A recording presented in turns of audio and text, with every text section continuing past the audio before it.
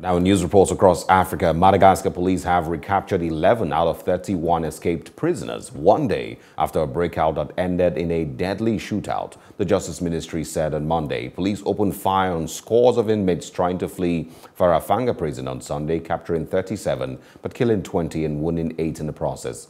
31 managed to escape the prison located in the southeast of the Indian Ocean island and were still on the run late on Sunday. The Justice Ministry said 11 of those escapees had since been caught and that one had been found dead, leaving 19 to account for. Mass prison escapes are not uncommon in Madagascar. In 2016, around 40 detainees broke out from a high-security prison in Toliary in southern Madagascar.